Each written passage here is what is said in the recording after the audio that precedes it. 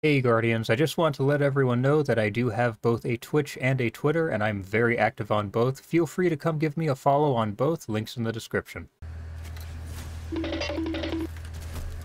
What the fuck did I just see? In continuing our reviews of the prophecy weapons, we're talking about sudden death next. We're gonna talk rolls and go in depth with range numbers as well, so you'll know exactly what to look for with this shotgun. Now, sudden death is a void aggressive frame shotgun, and it's actually a pretty damn solid one. Keep in mind, this is a mostly PvP focused review. We'll touch on PvE a little bit, but I think generally most folks using shotguns in PvE are rocking Wastelander or Sword Swordbreaker on Strand Titan. But it's nice to have another decent aggressive frame option in the energy slot that isn't Time Lost Found Verdict, given that Mindbender's Ambition got absolutely massacred, Last Man Standing is an awful shotgun for PvP, and we really just don't have many decent energy aggressive frame shotguns currently available in the game in the first place. So getting into sudden death, here's the perk pool, and it's a very, very solid one. Now for your barrel, personally I always lean towards barrel shroud or corkscrew rifling since I mainly use shotguns defensively and so I mostly value handling.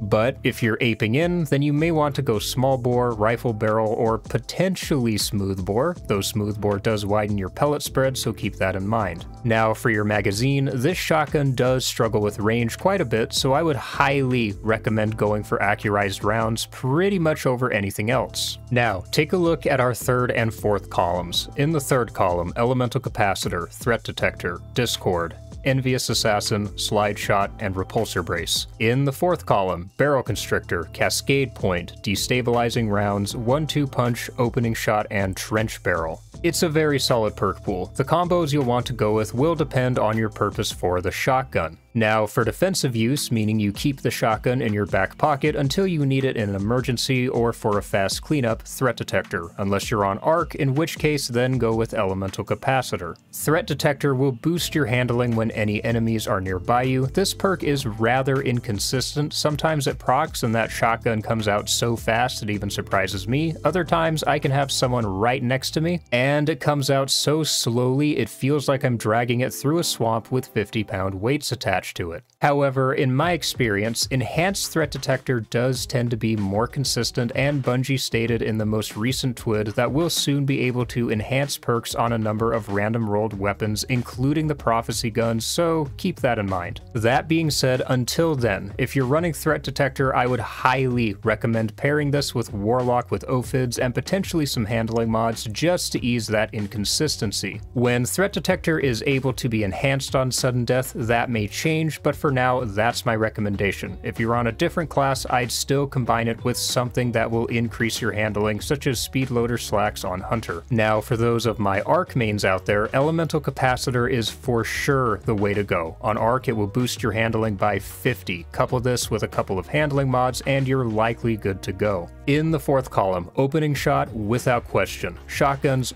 really struggle with consistency a lot. Even when a target is well within the lethal distance of a shotgun, often it just will not get the one-shot kill. Opening shot doesn't fix this entirely, but it does help massively. There is a noticeable difference in how a shotgun with opening shot feels versus how one without it feels. And while the range boost from opening shot is certainly nice on a shotgun, it's mostly helpful because the aim assist boost from opening shot will help a few more of those pellets land, and this can mean the difference between life and death. So, for defensive use, my go-to roll would be Barrel Shroud with Corkscrew Rifling in second place, Accurized Rounds, Threat Detector or Elemental Capacitor if you're on an Arc class, and Opening Shot. For your Masterwork, Handling, or Range, either one is fine, that's mostly just your preference. Now, if you go with Handling, the shotgun's effective range is 4.5 meters, that goes up to 5.2 meters when Opening Shot procs. On the flip side, if you go with range, it will take you up to 4.7 meters without opening shot and 5.5 with opening shot. So really, whatever you want here is pretty much up to you. It just depends on what you value more, a little extra range or a little extra handling. Now, if you're a brain dead shotgun ape, then smooth bore, rifled barrel, or small bore, still accurized rounds, slide shot and opening shot, and a range masterwork. With Smoothbore, your range goes up to 6 meters when opening shot is procced and 5.2 meters when it isn't. With Rifled Barrel, 6 meters with opening shot procced, 5.3 meters without. And with Smoothbore, 6.2 meters with opening shot and 5.5 without. If we take slide shot into account, then in the order of the barrels we just listed, your range is 6.5 meters with opening shot and slide shot, and 5.86 without opening shot. Then 6.6 meters with slide and opening, 5.9 without. Then 6.7 meters with, and 6 meters without. You'll just have to decide what matters to you more. Rifled barrel and smoothbore offer more range than small bore, but rifled barrel absolutely destroys your handling, taking it down to only 9 and smooth bore greatly increases your pellet spread. So, in this instance, you'll just have to decide what you are and are not willing to sacrifice. Quick side note, yes, this shotgun does have Barrel Constrictor, but Constrictor is a kill perk, and if the shotgun struggles to even get that first kill and you have to clean up with a primary or a melee, then it's pointless. Which is why I'd still, by far, take opening shot over Barrel Constrictor. Now, as far as performance goes, I mostly use this roll on Voidlock, and I used Ophids with a couple of Void handling mods, and I paired it with Thorn, a very high handling hand cannon. If you pair it with a lower handling primary, you'll need to take that into account and adjust your mods accordingly. That being said, it did perform very well, better than I expected honestly. It still doesn't have the one-shot kill potential of Time Lost Found Verdict, but it does have the advantage of having far, far superior handling options given that Surplus is an absolutely awful perk for shotgun swapping. For those of you who may not be aware, Surplus will boost your handling massively depending on how many abilities you have up. And with abilities being as potent as they are, you have to be ready to use them at any time. So you're kind of screwing yourself by using a perk that requires you to not use your abilities to gain its full benefits. And of course, Surplus is even slightly worse now with the reduced ability uptime, so keep that in mind as well. Quite frankly, it's time for Quick Draw to come back on aggressive frames. Not Slick Draw, Quick Draw. Quick Draw was never particularly oppressive on them anyway, though there is a discussion to be had about Slide Shot there, and it certainly wouldn't be oppressive now given that Quick Draw is a ghost of its former self. But for that reason, based on how I use shotguns, I do prefer sudden death to time lost found verdict. But if you're a shotgun ape, then yeah, no question, time lost found verdict is superior. Now, honestly, this shotgun did actually really surprise me in how good it felt, and the amount of times it did pull off the one shot surprised me as well. And this is where I'm going to touch on the origin trait because I think that's the big thing making the difference here.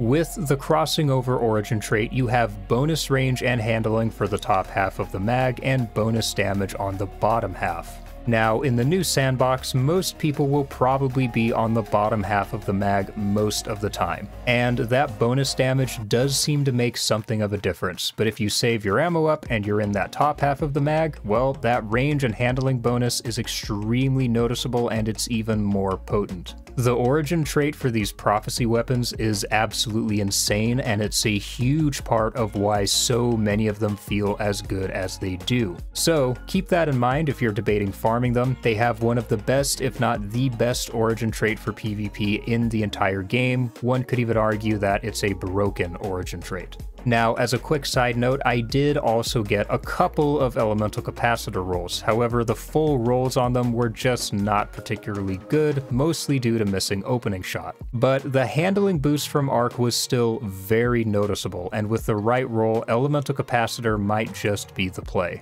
Now, very briefly touching on PvE, there are options here to be sure Envious Assassin, Discord, and Repulsor Brace in the third column, and Cascade Point, 1 2 Punch, Destabilizing Rounds, and Trench Barrel in the fourth. Now, the question you really have to ask yourself though is are you even using a shotgun in PvE without being on Strand Titan? And if so, why would you pick any of the potential rolls here when you could craft Wastelander with Lead from Gold and 1 2 Punch, or Swordbreaker with Pugilist and 1 2 Punch? You probably wouldn't. Quite frankly, outside of Strand Titans, I never see anyone using shotguns in PvE. They just don't serve any real purpose. Like, be real with yourself. Are you really going to be ad clearing with your destabilizing rounds or cascade point shotgun, especially in higher end content like GMs or Master Raids? Of course not. It would be suicide simply because shotguns do not have the range for that. Obviously, there are some options that should be good, such as Discord or Envious Assassin with Cascade Point or Destabilizing rounds, but until shotguns are worth using in PvE by themselves, and I am talking pellet shotguns specifically here, you can pretty well disregard this weapon for PvE completely. So, final notes on the shotgun, it can be ignored in PvE for the time being, but it's legitimately a very, very good PvP option. It's well worth the grind, particularly if you're a newer player, and I would highly recommend taking one for a spin. That is all from me today, Guardians. If you enjoyed this video or found it helpful or informative, then do me a favor and leave me a comment with your thoughts on this weapon. Don't forget to leave me a like, and as always, hit that subscribe button with the bell icon and share this video with anyone you think might find it informative or entertaining. That's the best way to support the channel, and it really does help me out. As a quick side note, the hand cannon build video is pretty well on indefinite hold. The current sandbox just isn't very good for aggressive play with 140s. 180s might as well not even exist at this point, and while 120s can be used aggressively, they're better suited for just wall humping in a Warlock Rift. But with everyone currently holding hands like crazy and generally just playing very passively, the video is on hold until I can either find a way to make these builds work to the same potency they had before or the sandbox is adjusted. It's unfortunate that Bungie seems to want to limit hand cannons to nothing more than wall humping rat weapons, but that's just where we are for the moment. So, if you want a mid-range weapon that's good for aggressive play, use the BXR, a rapid-fire pulse, or a 600 RPM auto rifle, they'll just serve you better for the time being. But for now, I will see you all in the next video. Peace, Guardians.